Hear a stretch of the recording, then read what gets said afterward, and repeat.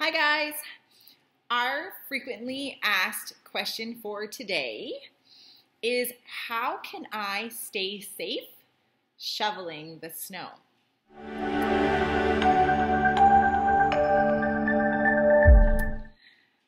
We can't deny it, winter is here, and that means that a lot of us are out on our driveways shoveling snow to get ourselves to work or wherever we need to go.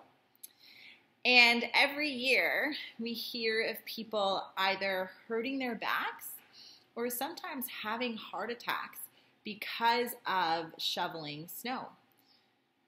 When we shovel snow, we are doing a lot of heavy lifting. And if we're not lifting properly, and if we're doing a lot more exertion than we're used to, it can get us into trouble. So, here are a couple of things to think about.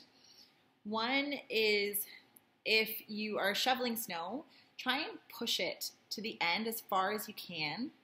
And then when you're putting it onto the pile, take little chunks and so that you're not heaving on huge amounts of snow that can get really heavy and can really put a lot of strain on your back and on your heart.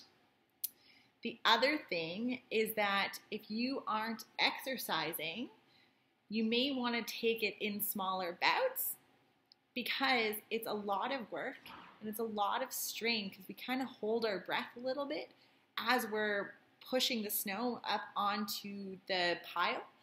And so it can be a lot of stress on our body. The other thing is that we want to gradually move in from really cold and a lot of exertion to really warm and sitting. So maybe stay out for a little bit just to let your blood pressure and your heart rate come down um, so that we aren't having a big shock to our system from going outside to inside. Those are just some things to consider. Um, a snow blower may be another option or baying someone else. Um, but just making sure that you're being careful and safe out there. Uh, that's it for our frequently asked question for today. Sorry, we went a little long. Um, check out the blog at staveoff.ca slash blog or comment below. I'd love to answer your questions.